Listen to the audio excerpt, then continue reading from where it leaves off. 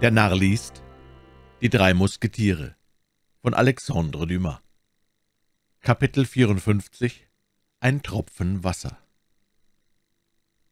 Rochefort hatte sich kaum entfernt, als Madame Bonacieux zurückkehrte und Milady mit lachendem Gesicht antraf. »Nun«, sagte die junge Frau, »was Sie befürchtet haben, ist doch eingetroffen. Diesen Abend oder morgen lässt der Kardinal Sie abholen.« »Wie wissen Sie das? Ich hörte es aus dem Munde des Boten.« »Setzen Sie sich zu mir«, sagte Milady. »Hier sitze ich.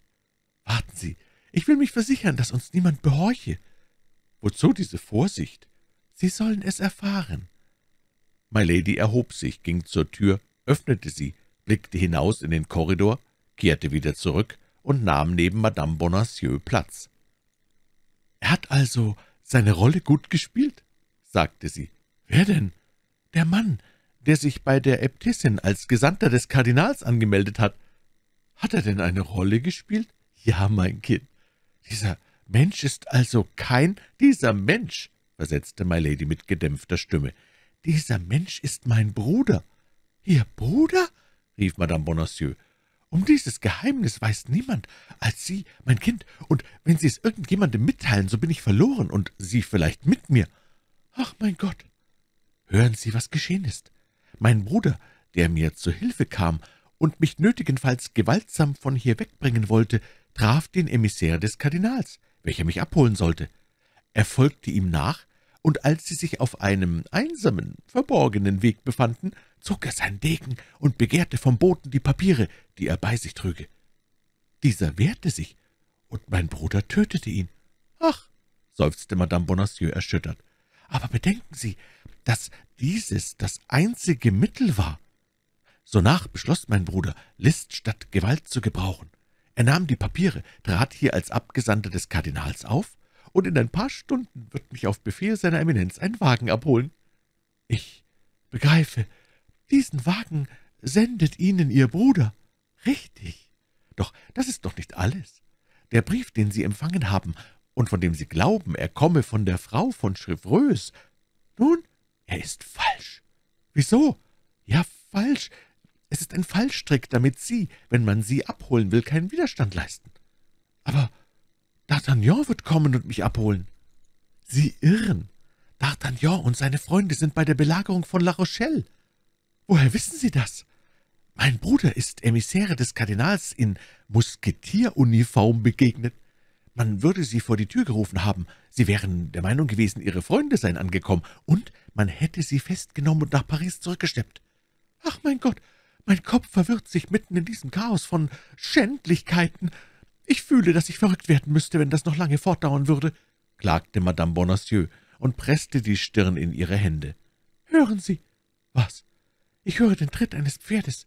Es ist das meines Bruders, der wieder abreist. Kommen Sie, ich will ihm ein letztes Lebewohl sagen.« Milady öffnete das Fenster und gab Madame Bonacieux einen Wink, dass sie zu ihr treten möge. Rochefort ritt im Galopp vorbei. »Leb wohl, Bruder«, rief Milady.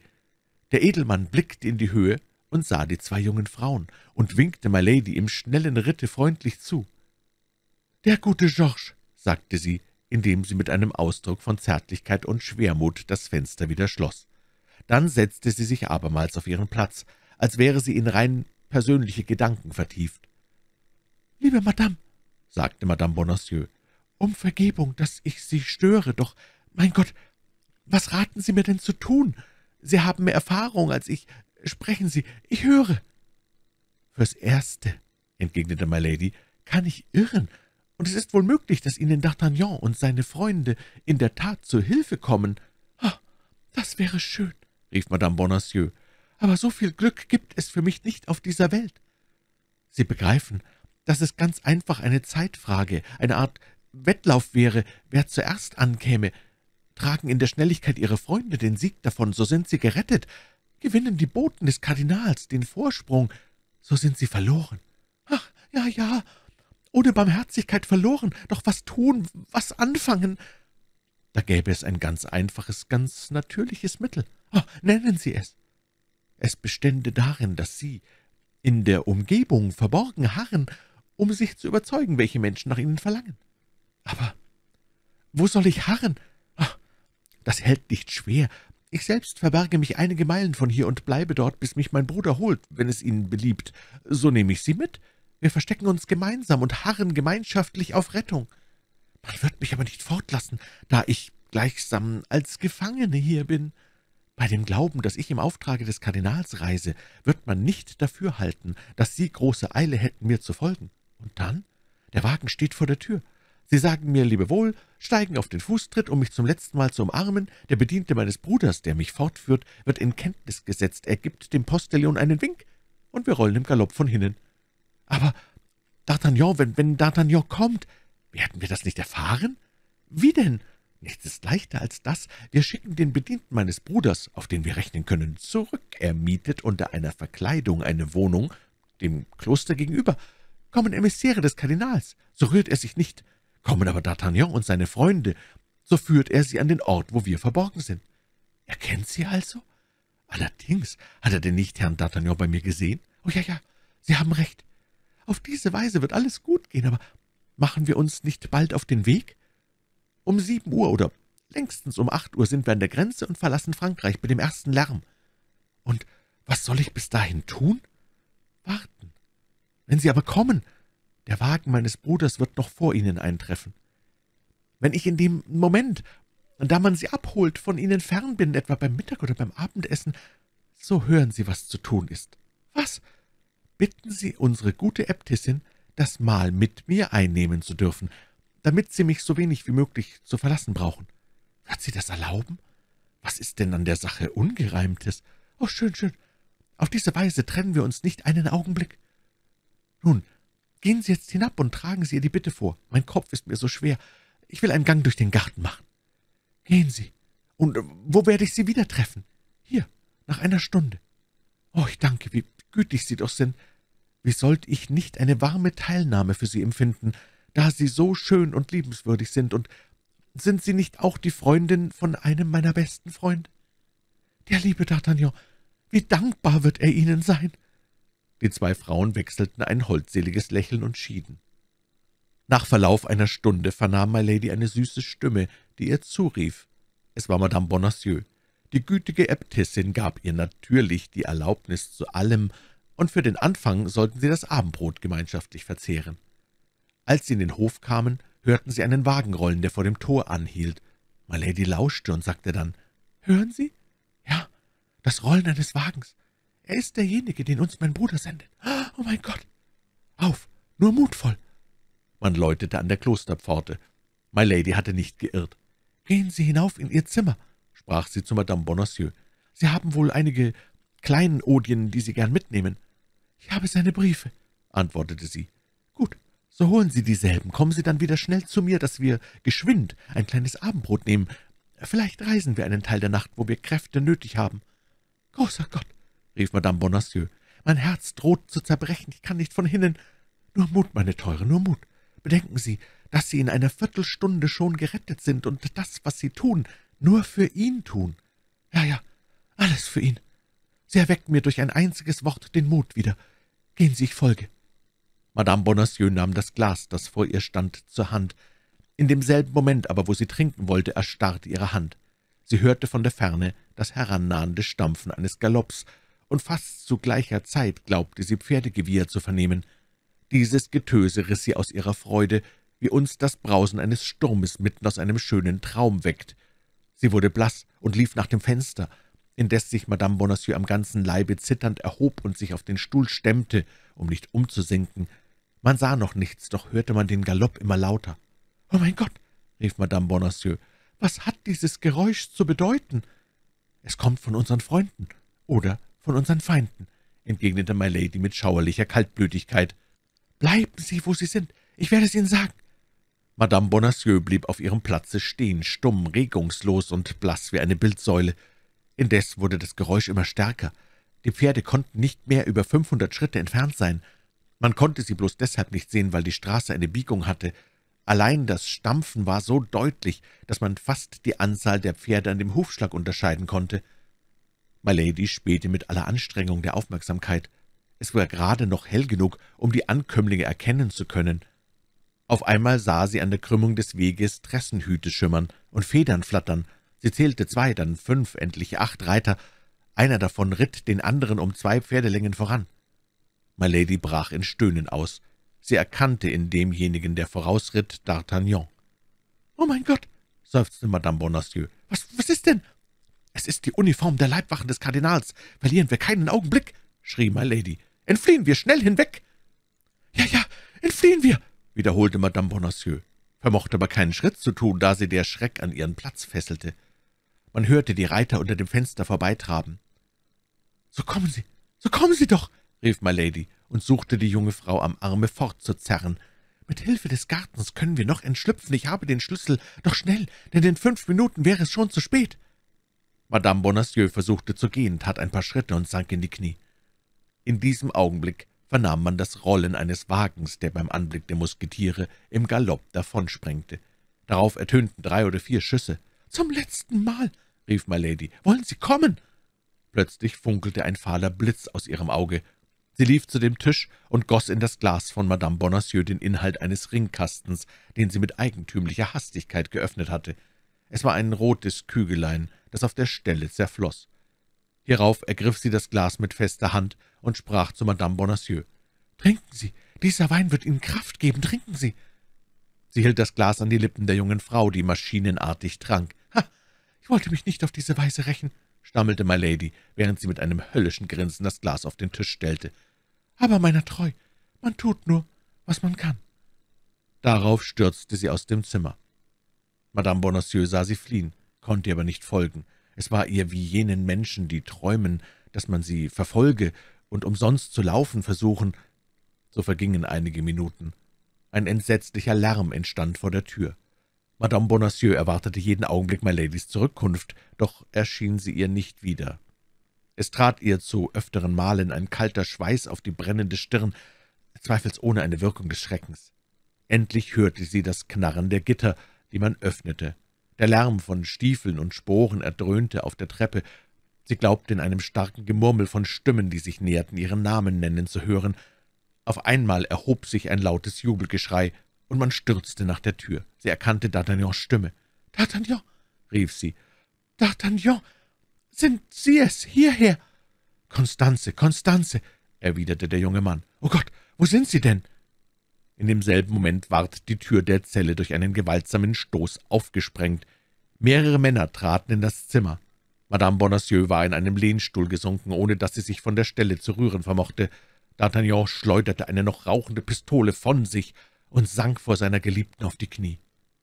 Athos steckte seine Pistole in den Gürtel, Porthos und Aramis, die ihre entblößten Degen in der Hand hielten, steckten sie in die Scheide. »Oh, D'Artagnan, mein geliebter D'Artagnan, endlich kommst du da.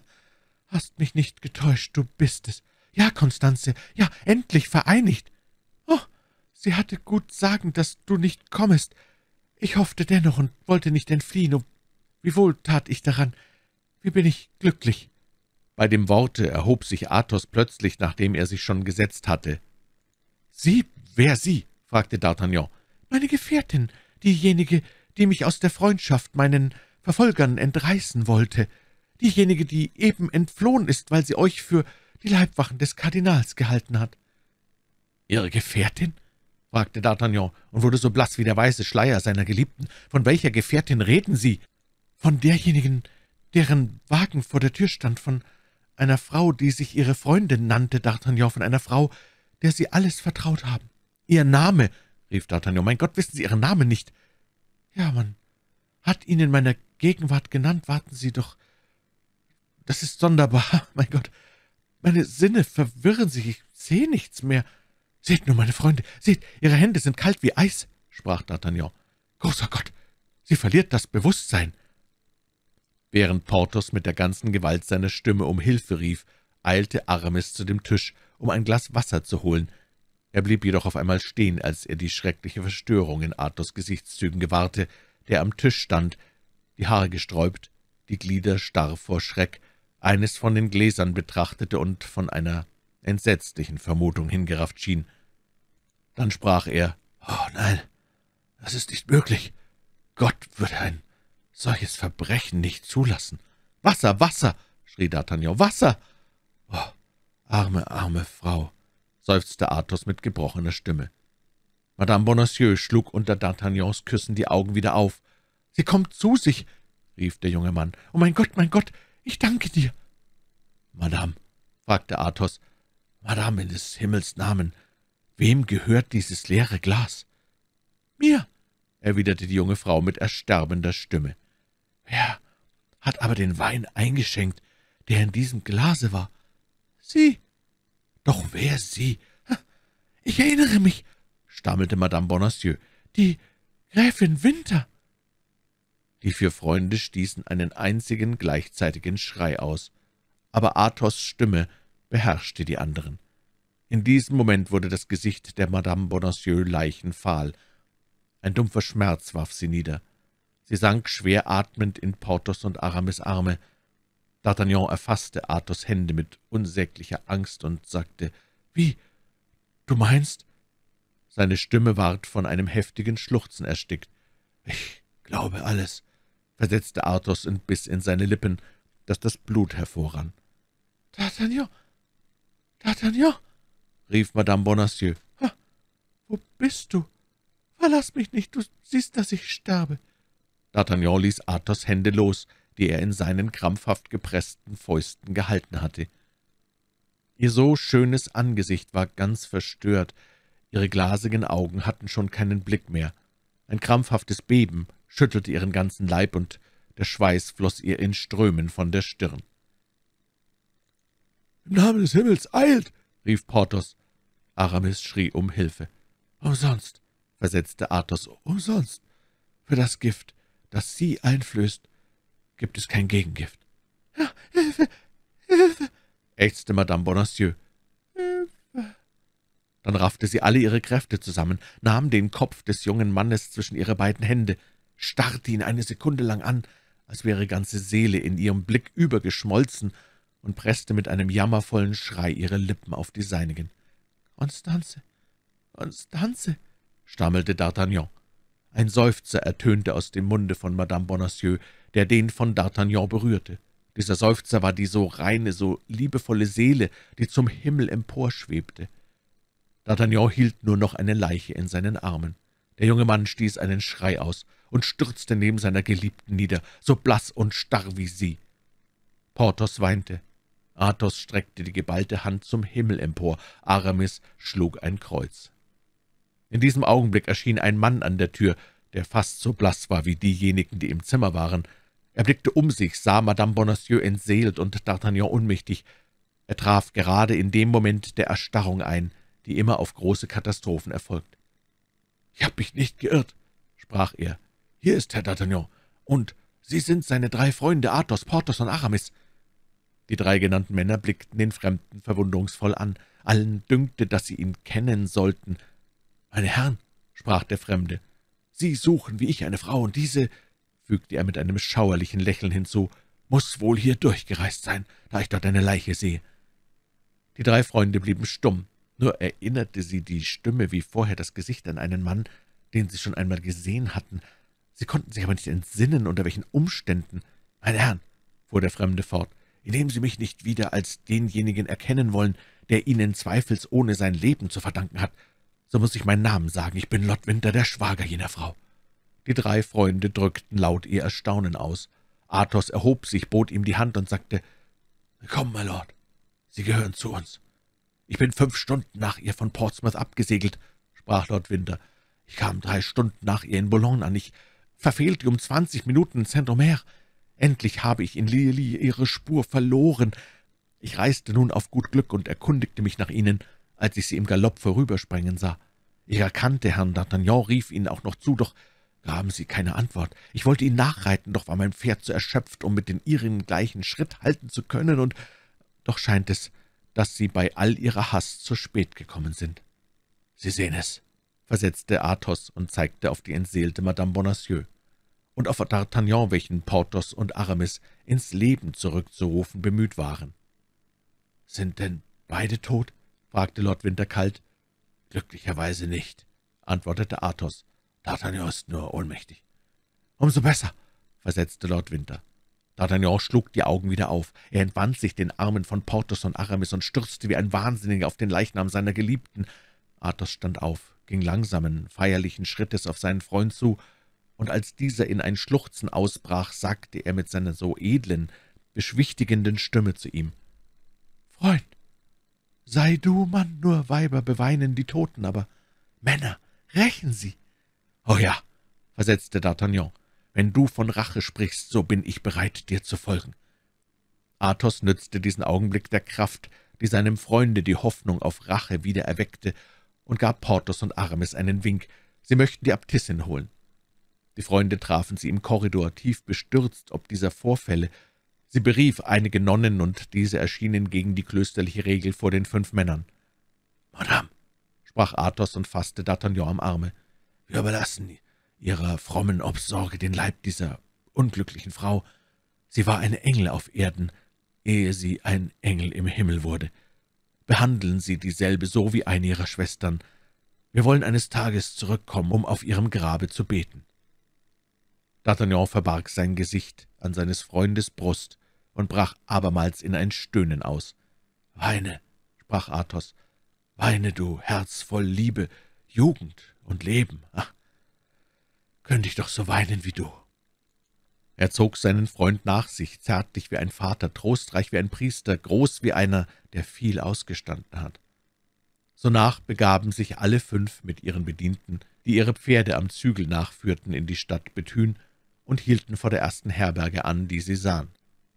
»Verfolgen wir denn nicht diese Frau?« fragte D'Artagnan. »Später«, erwiderte Athos. »Erst muss ich meine Maßregeln treffen.« »Sie wird uns entschlüpfen«, versetzte der junge Mann. »Sie wird uns entschlüpfen, Athos, und daran bist du schuld.« »Ich bürge für Sie«, entgegnete Athos. »Ich glaube aber«, sagte Lord Winter, »es gehe mich an, wenn Maßregeln gegen die Gräfin zu nehmen sind, da sie meine Schwägerin ist, und sie ist meine Gemahlin.« D'Artagnan bebte, denn er fühlte, dass Athos seiner Rache gewiss war, weil er ein solches Geheimnis kundgab. Porthos und Aramis sahen sich erbleichend an, Lord Winter hielt Athos für wahnwitzig. »Ziehen Sie sich nun zurück«, sprach Athos, »und lassen Sie mich gewähren. Sie sehen wohl, dass die Sache mich angeht als den Gemahl. Gebt mir nun das Papier, D'Artagnan, wenn ihr es nicht verloren habt, das aus dem Hute jenes Mannes gefallen ist und worauf der Name der Stadt geschrieben stand.« »Ah«, rief D'Artagnan, »ich begreife, der Name von Ihrer Hand geschrieben.« »Du siehst wohl«, sagte Athos, »dass es einen Gott im Himmel gibt.«